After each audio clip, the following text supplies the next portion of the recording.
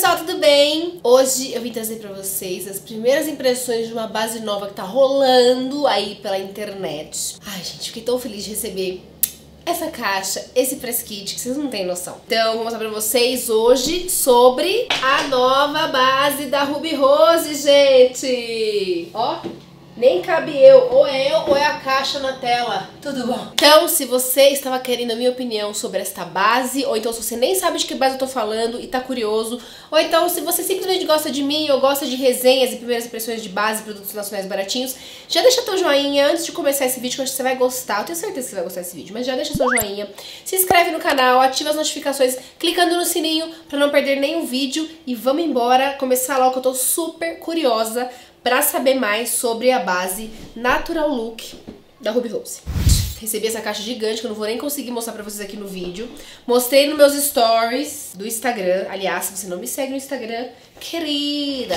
E vou mostrar pra vocês hoje aqui minhas primeiras impressões, porque eu recebi ontem essa caixa não abri nenhuma pra testar, não mexi, eu só mesmo tirei assim, ó, aqui da caixa, olhei e guardei de novo, porque eu queria fazer esse vídeo bem assim com a minha opinião real aqui na hora, sabe? Também não assisti resenha de ninguém até agora, vai ser um, uma resenha, um... É, primeiras impressões, na verdade, né? Porque eu não posso resenhar algo que eu ainda não usei. Mas, assim, muito verdadeiro, porque eu não estou sendo influenciada pela opinião de ninguém. Então, o que, que a gente vai fazer aqui juntas agora? Vamos entrar aqui no Instagram da Ruby Rose, pra gente poder ler e saber um pouquinho mais sobre essa base. Ó, tô aqui no Instagram da Ruby Rose. 14 tonalidades, né, eles disponibilizaram, divididos em nude, bege e chocolate. E aqui diz que tem textura veludada e cobertura média. Perfeita para você que ama cobertura no dia a dia, mas não dispensa a naturalidade da pele. Só tem isso no Instagram deles, então eu vou me basear no Instagram deles, tá, gente? Cobertura, é, textura veludada e cobertura média, tá? Vamos ver. Mas vamos começar pela embalagem, né, gente? A embalagem eu achei uma graça, bem assim holográfica em tons de rosé, eu achei bem bonita.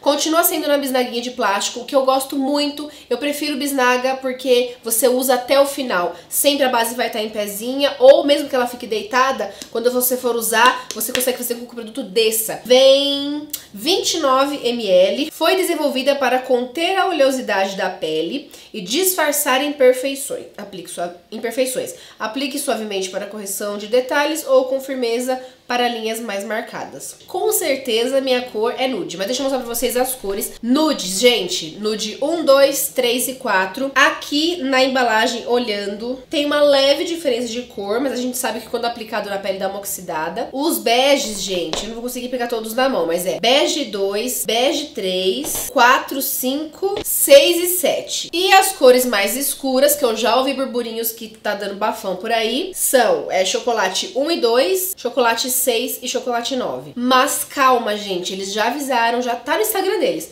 que eles estão desenvolvendo cores mais escuras ainda. Eu acredito sim que a Ruby Rose está atrás disso e logo vai trazer para as peles bem retintas um tom de base que dê certo, porque, gente, tem que ter. Isso aqui é o mais escuro da minha caixa e com certeza, óbvio, que não atende as peles mais retintas. Mas calma que eles estão desenvolvendo sim, e eu já acho, acho que isso é um grande avanço, porque a gente tinha até então bases bege 1, bege 2 e bege 3, né? Ou então cor 1, cor 2, cor 3. E já estamos avançando para 14 tonalidades no lançamento. Então eu acho isso já um grande avanço. Então vamos ter calma e eu espero que eles lancem logo para as meninas de pele mais retinta poderem ficar felizinhas com as suas bases e dar certinho no tom de pele. Então vamos lá testar, gente. Eu tô doidinha pra testar, vambora? Obviamente eu sou nude, né, gente? Porque com essa minha cor... E aí eu vou ter que testar. Eu vou passar no de 1, 2 e 3 aqui assim, ó. Pra gente ver qual que é o tom, né? É o jeito. Obviamente essa não é minha cor. Então nude 1 já está fora. Ai, tem um cheirinho meio de flor. Gostoso. Nude 2. Nude 2 e nude 3. Nude 3 aqui mais pra cima. Ah, gente, é nude 3, ó. Ó, a 2 e a 3 tá muito... Eu vou até baixar um pouquinho a luz. Baixei um pouquinho a luz pra vocês verem a realidade. Minhas olheiras, inclusive. 2 e 3 tá muito parecido e a 1 tá muito, muito clara. Então a 1 já esquece. Eu acho que é a... E agora? A 3 sumiu mais aqui, ó. Eu vou de 3, tá? No de 3, então, já tirei aqui a maquiagem, passei meu hidratante. Meu rosto está lavado, tonificado e hidratado. Vou passar o primer da Ruby Rose mesmo, o Studio Perfect, que é um dos meus primers favoritos, vocês sabem disso.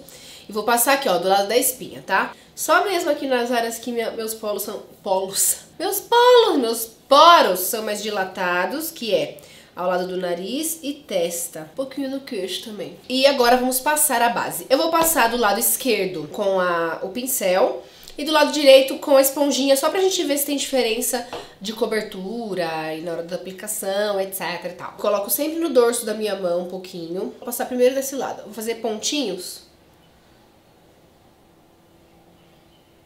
Pra gente ver. Espalhar de movimentos de cima pra baixo, assim, ó, pros pelinhos não ficarem arrepiados. Eu passei uma quantidade até que pouca, vocês podem ver, que é a quantidade que eu costumo passar de base mesmo. E, gente, que cobertura é essa, pelo amor de Deus? Caraca! Chocada! Caraca, cobre muito! Meu Deus do céu, socorro! Fica assim...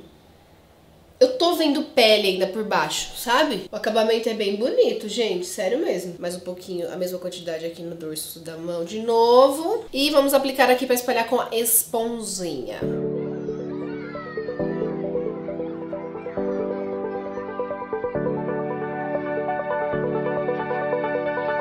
Já era de se esperar um pouco, né? Que com a esponjinha a, a, cobertura fica um pouco mais suave. E aí, ó, não cobriu muito aqui minha espinha, mas porque realmente eu apliquei pouco produto, do jeito que eu gosto de aplicar. Eu não sou de aplicar muita base, porque eu acho que não adianta nada se aplicar muita base no rosto todo, né? Então eu tô aplicando do jeito que eu aplico normalmente base, tá, gente? Cobriu bastante, mas ficou leve, bonita. Primeira impressão, colocada uma, uma camada. Gente, o que, que eu achei? Eu achei que cobriu muito, olha isso. Mas não é uma cobertura total, pelo menos não com uma, uma camada, tá? Tá uma cobertura média, porém cobre muito bem e fica bonito. Eu achei que ficou mais bonito com a esponjinha, o acabamento, do que com o pincel. Vamos tentar fazer outra camada?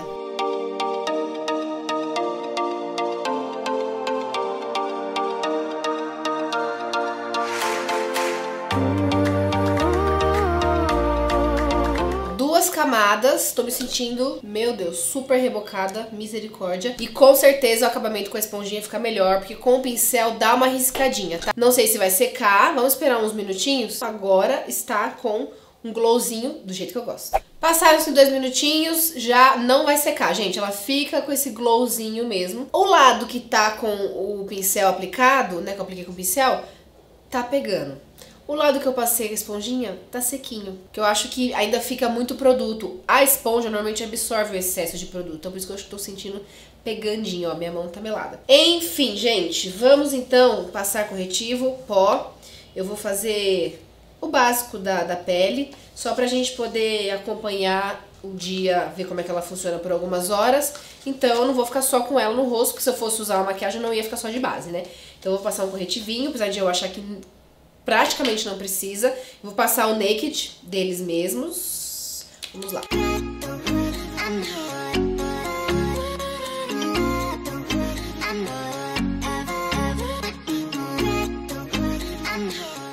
Agora são, ó, agora é 4h45 da tarde. Eu vou gravar um outro vídeo agora e mais tarde eu venho pra gente ver como que essa base se comportou. Então, já já eu volto. Voltei, agora são... Agora são 7h33 da noite. Quase aí, faltando alguns minutinhos pra dar 3 horas de uso. Eu senti que ela saiu um pouquinho no queixo, mas todas as bases saíram no queixo em mim, gente. Eu acho que meu queixo é muito oleoso. Um pouquinho só em volta do nariz e o resto eu senti que tá intacto. Vou chegar bem pertinho pra vocês verem. Eu espero que dê pra ver aí, mas ó, minha testa está sequinha. E o queixo, vocês podem ver que aqui tem até a... Deixa eu baixar um pouquinho a luz. Ó, a espinha que eu falei que eu tô já descobriu. E aqui descobriu um pouquinho também. E em volta do nariz, tá? O resto tá intacto, ó, eu passei aqui uma maquiagem que eu fiz um outro vídeo, está intacto.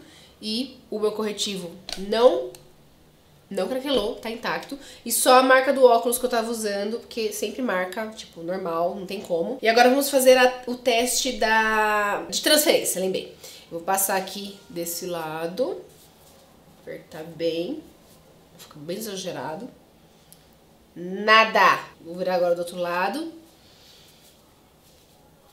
Aqui. Gente, quase nada, imperceptível. Esse lado eu não passei primer e esse eu passei, lembrem-se, lembram, né?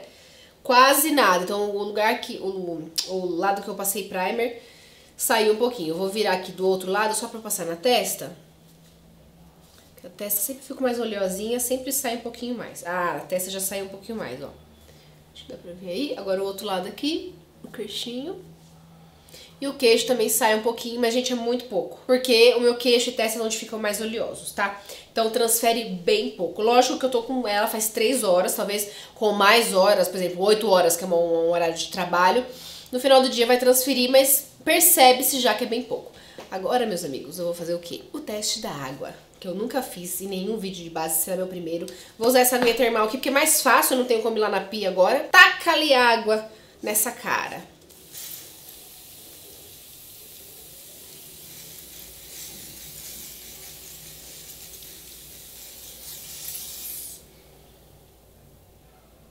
Tô sentindo pingar. Gente, eu tô cheia de gotículas de água, acho que dá pra ver aí. Mas... Não escorre base. Que isso? Mais água. Mais água tá pouco.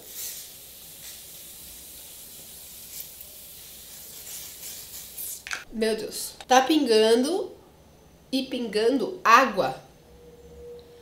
Não tá pingando base.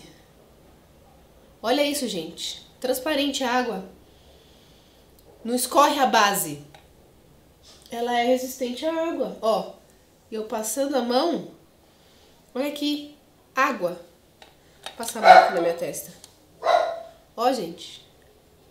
Então é isso, gente. A base está aprovada, a cobertura é muito boa. Apesar do nome ser Natural Look, eu sinto que o Natural Look é no sentido de ter uma cobertura legal, mas não ficar com carão de reboco, sabe? Ela deixa uma, uma maquiagem com cara de pele. Gostei disso, mas eu pro meu gosto pessoal, eu usaria só à noite. Vocês podem ver que a duração dela é muito boa, transfere muito pouco e é resistente à água. A prova d'água eu não diria, mas resistente à água sim. Então se suar, tomar uma chuvinha, vai dar tudo certo. Eu espero que vocês tenham gostado dessa, dessas primeiras impressões sobre a base. Eu vou usar ela mais vezes e conto mais lá nos stories, então me acompanhem por lá no Instagram, arroba.